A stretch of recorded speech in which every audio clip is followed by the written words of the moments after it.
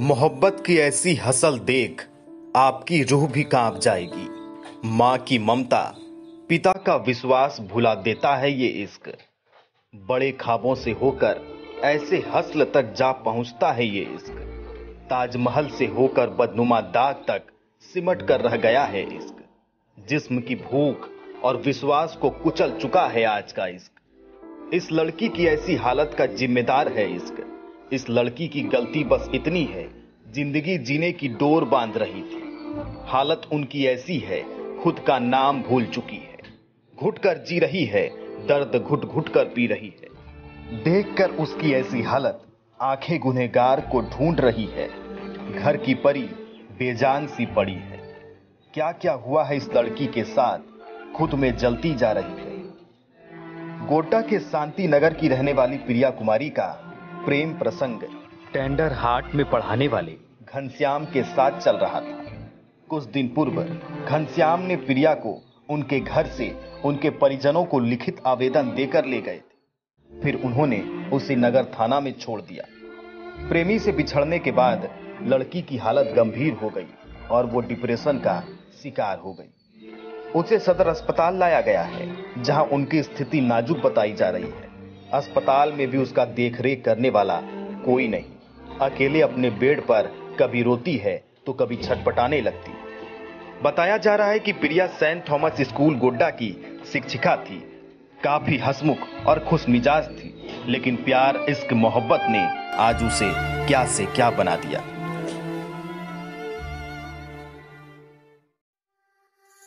इस खबर के प्रायोजक हैं Javed Habib ladies and gent salon. बड़े शहरों की तरह अब आपके शहर गोड्डा में भी Javed Habib ladies and gents salon. हर तरह के hair cutting, hair colour, hair straightening, hair styling, bridal makeup, Mumbai के ट्रेंड हेयर स्टाइलिस्ट से। उद्घाटन के अवसर पर एक महीने तक 30 प्रतिशत तक का स्पेशल डिस्काउंट पता है Reliance trends basement Bhagalpur road, Godda. पिछले दिनों एक लड़की का फ़ोटो वायरल हो रहा था और लोग कह रहे थे कि मानसिक स्थिति सही नहीं है और उसको नगर थाना में किसी ने सुपुर्द कराया था और आज वो अस्पताल में आपने देखने भी गए थे क्या है पूरा मामला और क्या अभी तक पता चल पाया देखिए लड़की की स्थिति ये है कि वो ज़िंदगी और मौत के बीच जूझ रही है हम्म। हो सके वो भगवान जाने दो दिन का भी मेहमान हो सकती है और ज़िंदा भी रह सकती है हम्म। बहुत चूँकि शहर का मामला था तो हम उसको जाँच पड़ताल किए, हम लड़की के पापा से भी मिले। तो लड़की के पापा के द्वारा एक कागज़ दिखाया गया कि कोई घनश्याम महतो घनश्याम महतो नाम का लड़का कुछ दिन पहले उसको उनके घर से ले गया था। और लड़की भी बोली थी कि हम इससे शादी किए हैं, हम इसके साथ रहेंगे। और हमको जहाँ तक पता है कि आज डेढ़ दो महीना से वो शांति नगर के किसी गली नंबर एक दो में कहीं रहती थी। और वो अकेले रहती थी। बाद में उसको सुने कि लड़का चार दिन पहले ये छोड़ के वहाँ से भाग गया। कहाँ छोड़ के गया था? अब कुछ दिन पहले थाना में सुपुर्द किया गया था। हम्म। और अभी तो दो दिन से सुनते हैं कि हॉस्पिटल में है। अब कैसे हॉस्पिटल पहुँची? थाना कब गई? ये तो पुलिस ही बता सकती है जाँच का विषय है।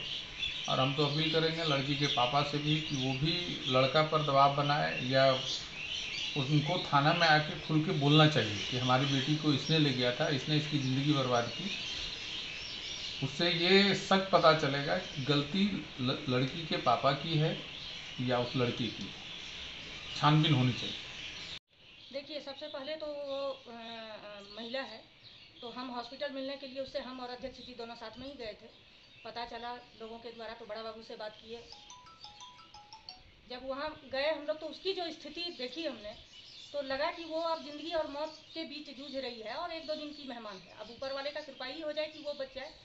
फिर उनके परिवार वालों का पता लगाया और उनके पिता से भी हम लोग मिले।